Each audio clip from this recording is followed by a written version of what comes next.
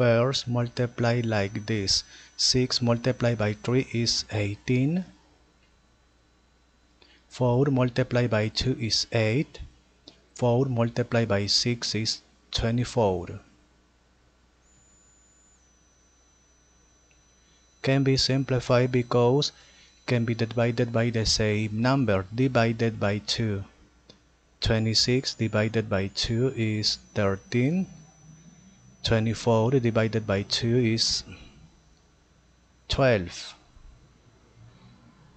is greater therefore convert the same number here 12 multiplied by which number is nearest to 13 but not greater. 12 multiplied by 2 is 24 is greater multiplied by 1 is 12 okay? Is not greater.